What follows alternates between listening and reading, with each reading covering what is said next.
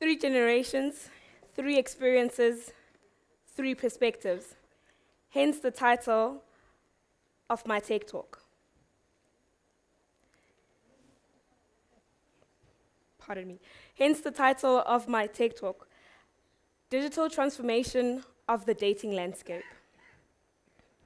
Surrounded by three generations, namely the silent generation, Generation X, and of course me, the millennial, after a family Christmas dinner, we start talking about the four letter word love.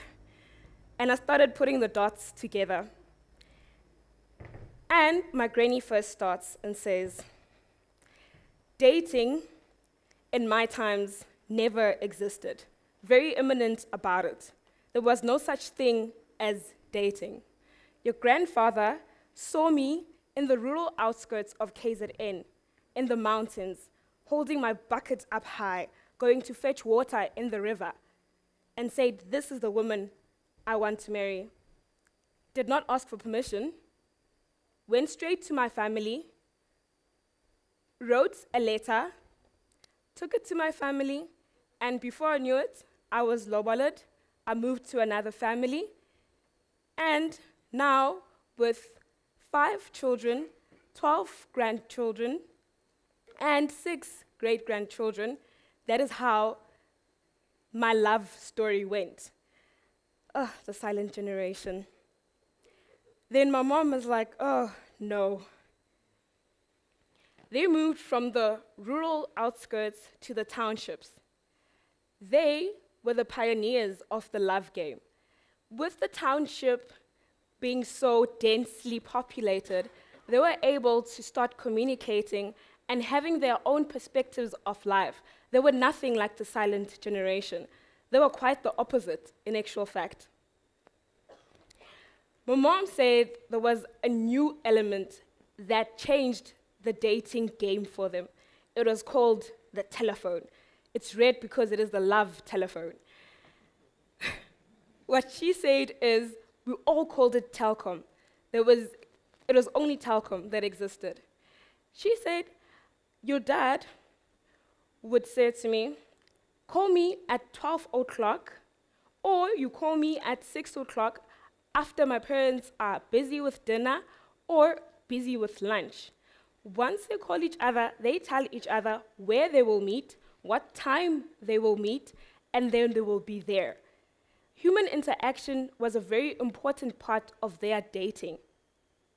On the other hand, the millennial, ah, me, of course. With the city life, we're so busy. Our lives, the work, we are an integrated generation. We actually want to be able to play and work hard in the environment we live in. So I told them we don't have time for human interaction. It all happens in our hands with a very small mobile device. And I told them we found the answer to our problem. And I called it Tinder.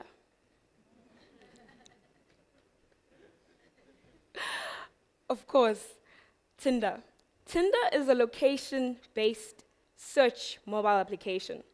It is a dating service that was launched in 2012.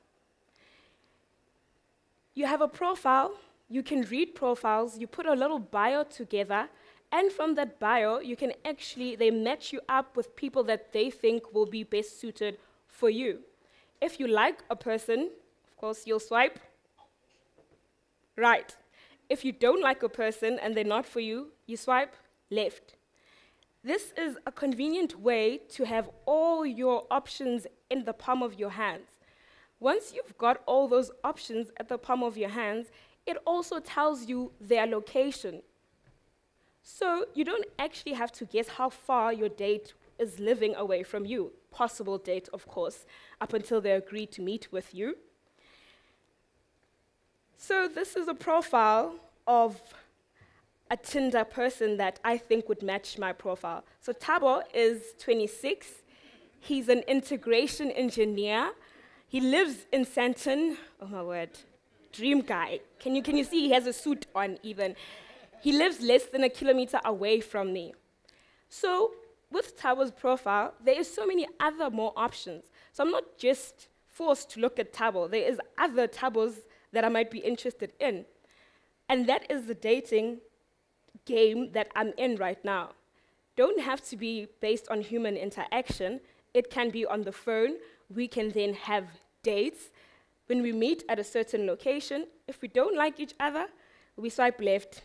We don't have to, you don't even have to break up with the person. It's done. It was online, nothing new. You move on to the next table. So there's actually one million dates per week that happen on Tinder globally. So people are meeting up, they're swiping left, they're swiping right, and some, only, only 20%, unfortunately, are meeting the life partner. The rest, I'm not really sure what they're doing. I've got interesting facts about the online dating, but it is based on American statistics. 40% of Americans use online dating. 40%. And more men, in actual fact, use the dating applications than women. I don't know why. It, there must be a reason. and 53% of the people lie on their online profile. They lie about their age, they lie about their height, their weight, and their job income. Of course, if you want to date you, you need to put a bit of spice in it. And one thing that Tinder has realized is that location matters. People don't want to actually go on a date further away. Tinder is available nationally, it is available globally, but people still meet within the certain location that they're in. I told my family about this, and they're very surprised and shocked at how millennials have no form of perspective in terms of dating. Now, it's all about the many options and the level the person is in. It's not about the human connection, it's not about the, the, the, the, the norms as well as um, the, the, the traditional ways of doing things. So that is how the digital transformation of the dating landscape has changed over the generations. Thank you.